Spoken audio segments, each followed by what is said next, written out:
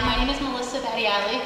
Um, I have been an egg donor several times over the past eight years.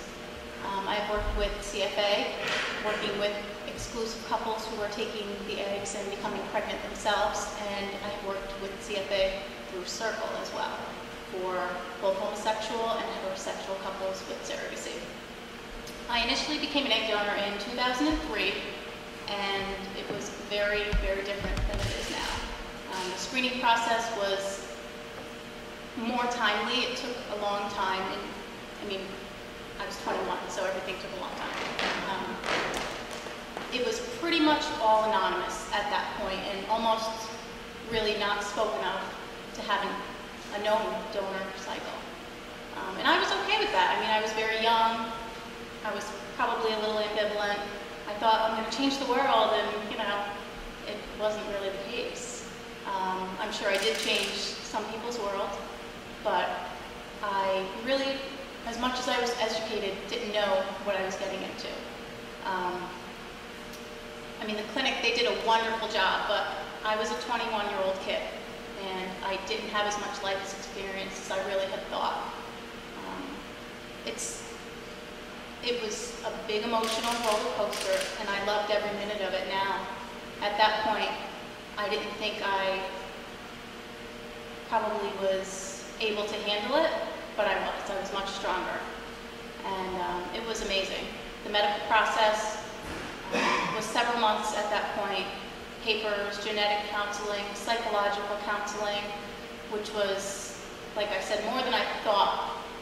And as much as I was educated, it was still a lot for a young kid. Um, my first cycle was anonymous, like I said, and I felt really great afterwards.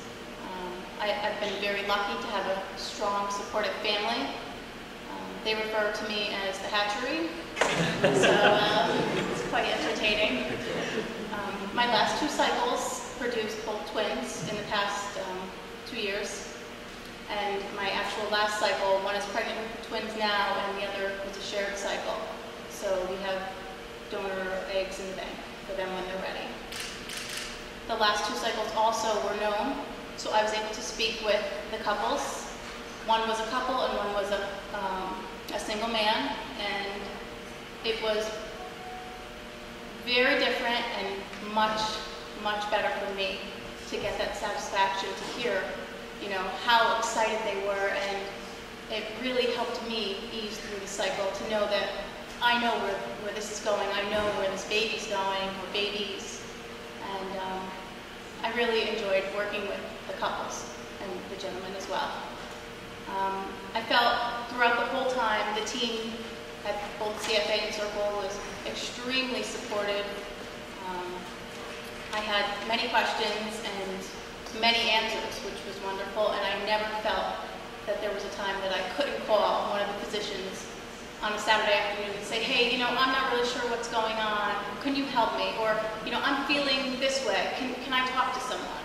And I think that that's huge.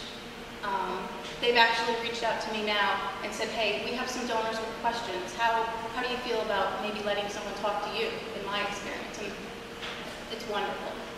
Um, I've referred a lot of girls that I've known to be donors, and I've heard a lot of slack over the years from people who have different views.